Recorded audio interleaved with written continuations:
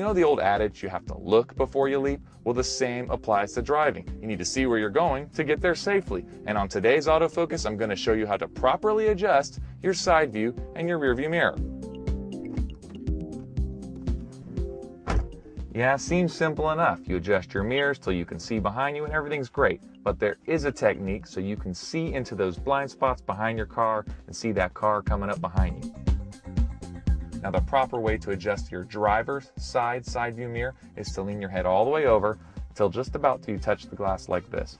Then adjust your mirror until you just see beyond your car. You should just see just that little sliver. You shouldn't see that. You're going to adjust just beyond that. What that's going to allow you to do is to see past that blind spot. You don't need to see your car, you need to see the lane next to you and to see the car that's in it. Now with the passenger side side view mirror, you want to lean as far over towards the center as you can and adjust that mirror till you see just beyond your car. That will allow you to see into that three quarter view blind spot on your passenger side. Now for the rear view mirror, a lot simpler. Most people do this right. Obviously, you just want to adjust it till you see right behind you.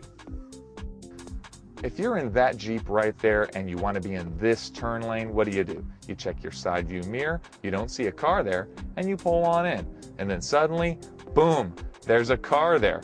Now, if your mirror was adjusted properly, this is what you would have seen.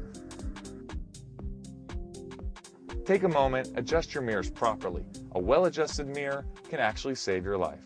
I'm Ben Italis with this week's autofocus.